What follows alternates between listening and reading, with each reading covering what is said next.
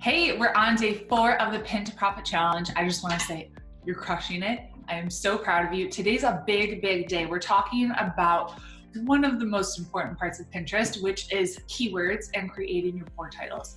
There's so much that goes into keyword optimization on Pinterest that we're not going to be able to cover everything in this challenge. Just there's a lot, um, but I want to get you started with understanding a little bit more about how keywords work and how you can title them on your boards.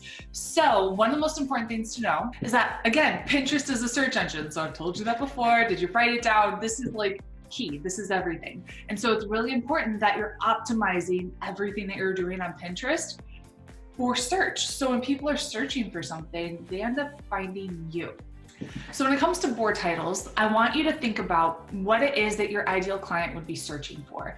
And so instead of just naming a board something like stuff I love, which is no one's searching for that, think about who your ideal client is and how you could add value to them through your boards. And think about when they go to Pinterest, what are they searching for?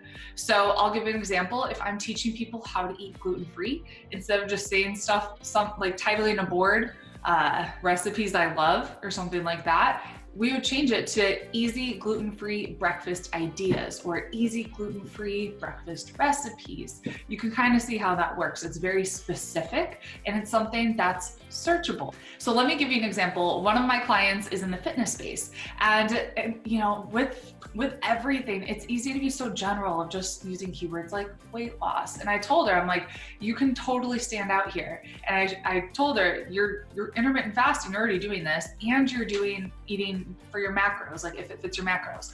Why don't you just make everything that you're doing on Pinterest and your blog about that? So you know what she did? Everything is about intermittent fasting for women and if it fits your macros. And she's literally dominating this space on Pinterest. She's getting new leads into her business every single day. She hasn't touched that business in months and is still making money from that because she's using these keywords the right way. She's showing up on Pinterest and Google because of this. Like, so, so cool. So let's actually go to Pinterest and I'm gonna show you how this works. So we are up on Pinterest and I just want to show you some of the board titles that I have just so it can give you an idea of what you can be doing here, okay? So I all my boards, they're not, so I teach Pinterest, but I thought about what would really serve my ideal client. And so I have a board on Pinterest marketing tips, but I also think shoot, like she's probably struggling with her mindset and needs help with money mindset work. So I have a board money mindset for entrepreneurs. I also am like a huge fan of social entrepreneurship, and that's a big part of what our company is about. And so I'm like, hmm, this is a really good niche, by the way, if that's something you're into. There's not a lot of content on, there. So I have a board titled Social Entrepreneurship Ideas. So you can see it's it's all these boards are things that are supporting my ideal client. So let me actually give you this example of intermittent fasting. So I start typing that in, and what you're gonna see is that these keywords start popping up. These are the more specific search terms. This is my fitness Pinterest account. That's cool, that pops up first. So I type intermittent fasting for women. Okay, that's my pin that I pinned like a year and a half ago, still at the very top. That's a client who's at the very top. Another client who's at the very top. Here she is again. So do you see how this can kind of work if you're using the right keywords, how you can show up and dominate? All right, so it's homework time. So I want you to go to Pinterest and just start typing in niche specific keyword terms and see what pops up. And I want you to come up with five different board ideas. And these are going to be boards that are going to be, you know, helping your ideal client. What are the, some of the things that they're struggling with? So they're niche specific and they're helping your ideal client. And what I want you to do is write one board title and one board description that's again, keeping your ideal client in mind. So these board descriptions, let me actually go to Pinterest and show you what this could look like. Okay, so here is an example. I have one board that's specifically for all of my blog content. So on this one, I titled it my blog post, but I also used some keywords in there explaining how it's relevant and what we talk about in the board description itself. So in board descriptions, you can use keywords in there too.